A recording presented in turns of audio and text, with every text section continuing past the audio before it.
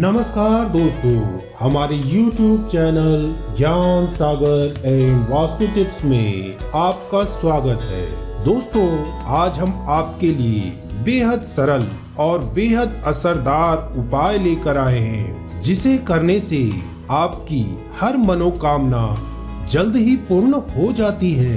दोस्तों, घर में हरा भरा तुलसी का पौधा, परिवार की पवित्रता और समृद्धि का प्रतीक है।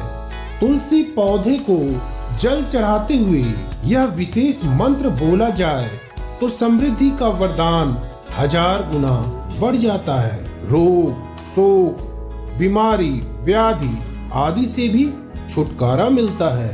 दोस्तों, मंत्र इस प्रकार है।